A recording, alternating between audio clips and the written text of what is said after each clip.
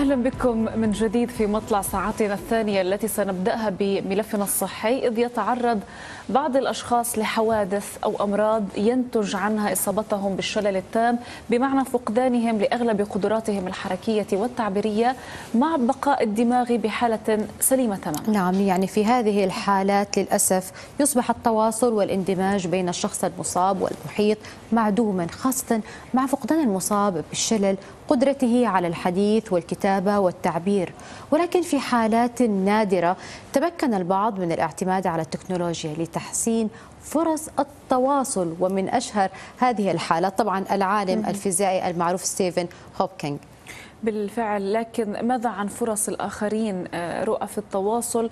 يعني يبدو أنه هناك أمل جديد. ضمن إطار برنامج تعاون بحثي طويل الأمد يسمى برين جيت تشرف عليه شركات ومراكز أبحاث أمريكية تمكن أو تمكن رجل مصاب بالشلل التام منذ عام 2007 من مشاركة أفكاره بفضل هذه الزرعة الدماغية. نعم طبعا خلينا نتكلم عن هذه التجربة. هذه التجربة تقوم على مبدأ استخدام التكنولوجيا من خلال هذه الزرعة الدماغية التي يمكنها ترجمة أفكار الشخص وخط يده المتخيل باعتبارها واجهة دماغية حاسوبية تستخدم الذكاء الاصطناعي لترجمة الإشارات للنشاط العصبي الذي يتولد عند الكتابة باليد وترجمته لخط فعلي على الحاسوب.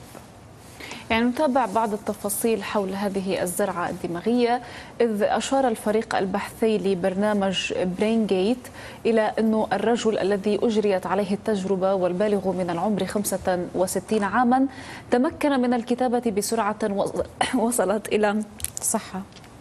وصلت هذه السرعة إلى إلى 90 حرفا طبعا في الدقيقة. وأن طبعا دقة الكتابة والترجمة وصلت إلى 94% وبلغت نحو 99% عند تفعيل خاصية التصحيح التلقائي للنص. والأهم أن سرعة كتابة الشخص قاربت سرعة إقراء قراءة طبعا الذين يستخدمون الهواتف الذكية وتبلغ 115 حرفا في الدقيقة. إذا نتحدث أكثر حول هذا الموضوع مع أخصائي أمراض الدماغ والأعصاب الدكتور طارق الدباس. مرحبا بك. معنا دكتور طارق. إذا بداية دعنا نتعرف على أسباب الشلل التام وهل تكون ناتجة عن حوادث معينة أو أمراض؟ نعم صباح الخير شكرا لكم وصباح الخير لجميع المشاهدين. الشلل بشكل عام يعني هو إما أن يكون ناتج عن طريقة إصابة أو عن طريق مرض. بالعادة الإصابات هي بتكون إصابات بال... نتيجه إصابات رياضية بالعادة نتيجة بعض أنواع الرياضة مثل رياضة كرة القدم أو الرجبي أو المصارعة أو هوكي الجليد. نعم. النوع الآخر من الإصابات بتكون نتيجة حوادث السير. طبعا حوادث السير اللي بصير فيها يعني إصابات خاصة لمنطقه العنق والرقبة اللي هي المنطقة اللي بيكون فيها يعني الشلل بنتج عن إصابات في منطقة النخاع الشوكي في منطقة الرقبة في منطقة العنق. وفي في المقابل في المقابل في هناك يعني ممكن تكون نتيجة برضه بعض الإصابات مثلا الغوص في مياه الضحلة ممكن السقوط من اماكن مرتفعة يسبب هذا يعني هناك الأمر. حوادث غير الإصابات كثير في هناك العديد. أيوه ممكن تسبب هذا نعم النوع من غير الشلل الإصابات في. العديد.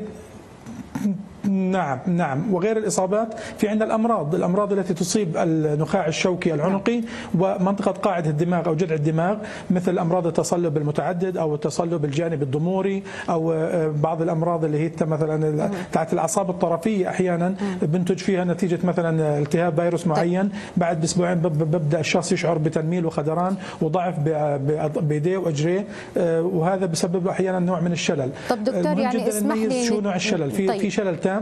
يعني هناك آه، آه، تفضل. كثير والأنواع كثير ولكن دعنا نتوقف عند فكرة البحث والتجربة هذه العلمية الجميلة يعني ما أهمية وجود هذا النوع من نعم. التجارب التي يعني آه، تكون نوع أمل للمصابين بالشلل نعم هي هي التجارب تعطي فرصة للمرضى انه يعني هذا الشخص المصاب بالشلل زي ما حكيت أنت في المقدمة تاعتك إنه ممكن هذا الشخص يكون بس عنده شلل بايديه ويجي ما عندوش قدرة على التخاطب ولكن دماغه وال وال وال, وال يعني الذكاء عنده عالي جدا وعنده القدرة على التخاطب وعنده القدرة على الأمور هاي. فهم الفكرة إنهم زرع هاي الزرعات سواء الفكرة اللي حكيت عنها ال BCI اللي هي brain computer interface أو شركة Neuralink تاعت ايلون ماسك اللي هم بيزرعوا عن طريق مثلا اللي هو الروبوت الجراحي بحطوا زرعة أو اللي هي شريحة صغيرة جدا في منطقة ال motor cortex أو اللي هي القشرة الدماغية الحركية.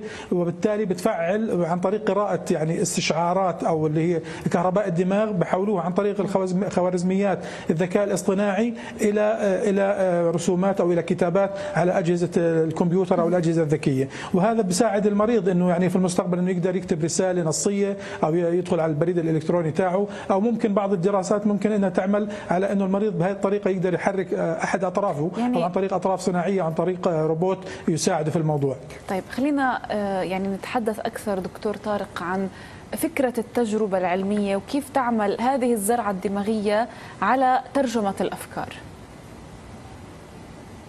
نعم نعم. يعني حاليا في في غير هذه الدراسة في دراستين يعني في أو شركتين يعني في بينهم تنافس. الشركة الأولى اللي هي شركة إيلون ماسك تاعت Neuralink اللي حكينا عن طريق زرعها عن طريق اللي هي الجراحه هسه في شركة ثانية Synchron اسمها هاي الشركة تعمل على حقن هاي الشرائح عن طريق الوريد. يعني بحقنوها في منطقة الشريان الوريد في منطقة العنق وبتصل إلى مناطق دقيقة جدا قريبة في شرايين دقيقة جدا في المناطق القريبة من اللي هي الجبهة الأمامية. الاماميه المسؤولة عن الحركة أو منطقة وسط الدماغ وهي هاي الطرق ممكن يستخدموها كمان لعلاج يعني الشلل أو بعض الأمراض العصبية الأخرى مثل اللي هو شلل الرعاش يعني مرض باركنسون عن طريق زيادة إفرازات مادة الدوبامين.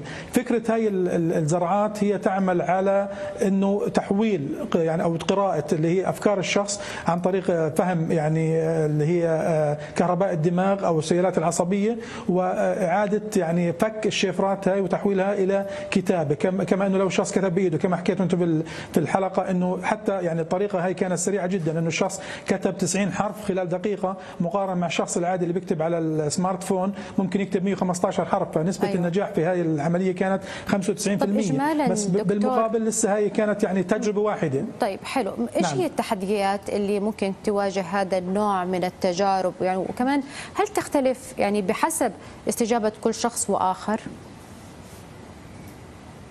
أكيد هو حيكون اختلاف من شخص لآخر بيعتمد على يعني جهاز المناعة هل يتقبل هذه النوع من الشرائح أو لا بس بشكل عام إحنا بنعرف إنه في في جسم الإنسان غير الدماغ في بنحط إحنا الاستنتات في القلب بنحط أجهزة أخرى في الجسم وحتى في الدماغ كنا يعني يضعوا دكاترة الأعصاب ودماغ جراحه الأعصاب كانوا يضعوا اللي هي اجهزه لتحفيز الدماغ وتحفيز العصب الحائر.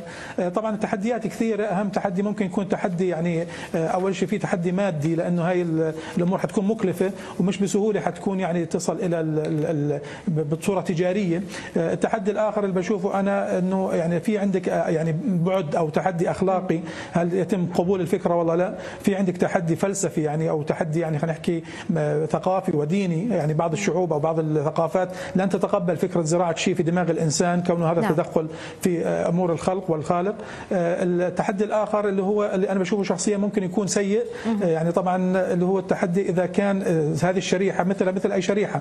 يعني إذا كان الشخص القادر على تاعين ال IT عملوا على تهكير الشريحة هاي فبنصل إحنا لمرحله من الخطورة. ممكن الشخص هذا يمكن التحكم بصير عندك brain أو ال mind hacking وهي الأمور نعم. بتصير خطيرة جدا طبعا. نعم. نحن نشكر مداخلتك معنا لهذا النهار. اختصاصي أمراض الدماغ والأعصاب الدكتور طارق الدباس. شكرا جزيلا لك. مشاهدينا